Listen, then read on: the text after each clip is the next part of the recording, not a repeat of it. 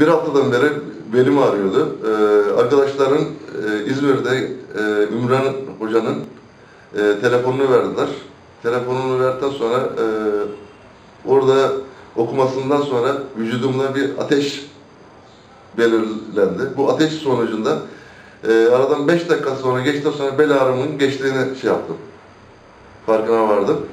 Ve bunun bir itikat e, meselesi olduğunu şey yapıyorum. Tabii bu bel ağrıların, ondan sonra ağrıların e, ayetleri, bütün her şeyleri var. Zannedersem hocam bu ayetlerden birisini okuyarak belimin düzeldiğine inandım. O günden beri ben Ve o günden beri de hiçbir belimde, kolumda, ayağımda hiçbir rahatsızlık belirtisi yok. Ve iki büklüm dolaşıyordum. İki büklüm dolaşıyordum. Ne çorabımı giyebiliyordum, ne kalkabiliyordum, ne, ne yapamıyordum. Ve hocamın e, sayesinde hiçbir para karşılığı olmadan, hiçbir para karşılığı olmadan hocamın sayesinde iyileştim. Kendisinden Allah razı olsun. Çok çok çok teşekkür ederim. Ve diğer ar- arkadaşlarım da eğer belleri şey yapıyorsa, tabi bu itikat meselesi, bir inanç meselesi, böyle bir inançları, bir şeyleri varsa hiç şey yapmasınlar. Hocamın telefonunu arasınlar. Hocam bulunduğu yerden ayeti kürsüleri okur, ne yapar ve şifa bulacağına da inanıyorum. Ben kendisinden de Allah razı olsun. Yani ne diyeyim, çok çok teşekkür ederim. Söyleyeceklerim bunlar ibaret. Yaklaşık eee, 10 yıldır çektiğim bir bel fıtığım vardı. Daha önce yaşadığım Milas'ta defalarca doktora gittim. Aslen tıbba çok inanan, bir insanım ve hala da öyleyim. Eee, bir gün e, bu 40 ağaca döndüğümde bir perşembe günüydü, bir pazar günü, e, 40 ağaç pazarın olduğu bir gün. Eee çarşıya gitmem gerekti fakat yürüyemiyordum, yürüyemiyordum.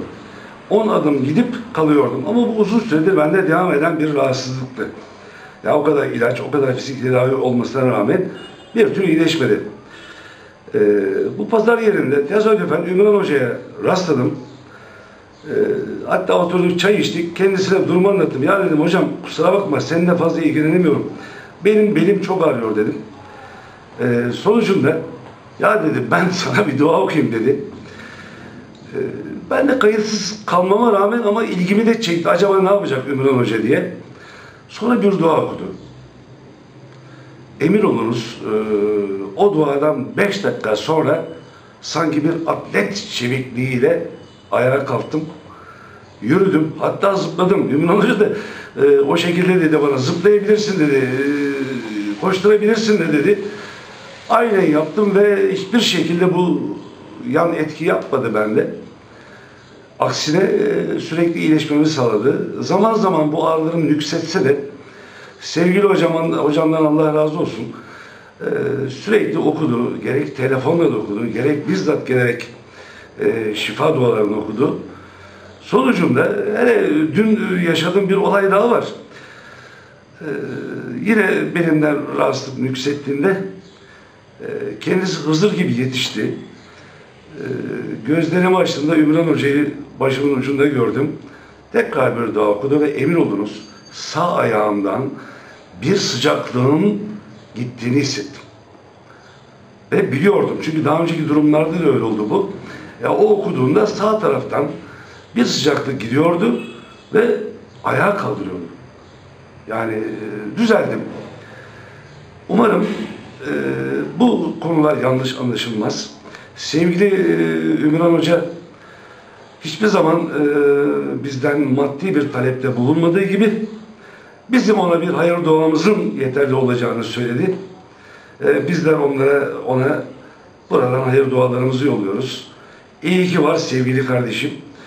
E, umarım ağrısı sızısı olan herkes yani tıbben bir e, cevabını bulamayan herkesin e, sevgili Ümran Hoca'yı bir ziyaret etmesini yürekten diliyorum. Çünkü dualar e, zaten şifa kaynağıdır. E, sonucunda nasıl olduğunu bilmiyorum. Yani Ümran Hocamın böyle, Ümran kardeşimin böyle e, bu konuma nasıl geldiğini hala da tasavvur edemiyorum ama ben size şu kadarcık bir şey söyleyeyim. Bunun ben faydasını gördüm. Hala da görüyorum. Bugün sağ tarafımda bir ağrı vardı. Sağ olsun tekrar okudu ve o ağrı geçti. Ee, bütün herkesin bu temellerimizi dinlemesini bekliyorum. Hepinize saygılar sunuyorum. Teşekkür ederim.